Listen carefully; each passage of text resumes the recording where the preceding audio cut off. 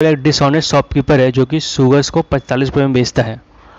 Cost of sugar कितना है? चालीस रुपये इसके बाद भी उसको और मन नहीं भरता है तो क्या करता है कि 100 ग्राम और कम देने की कोशिश करते हैं। ठीक है? तो इसके एक बहुत नया तरीका मैं आपको सिखाऊँगा। तरीका क्या होगा? ये होगा। पहले सी पी और एस पी स्टार्टिंग किसमें? सी पी कितना है? चालीस। एस पी कितना है? पैंतालीस।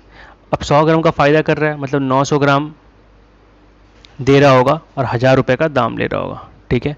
तो क्या करेंगे हम? इन दोनों को मल्टीप्लाई करेंगे, ऐसे। और इन दोनों का रेशियो निकालेंगे हम लोग बेसिकली ठीक है? तो ये ज़ीरो ज़ीरो कट गया, ये कट गया, नौ से कटाइए पाँच बार में। तो कितना आ गया? चार बाई पाँच। मतलब फोर इस टू फाइव का रेशियो है।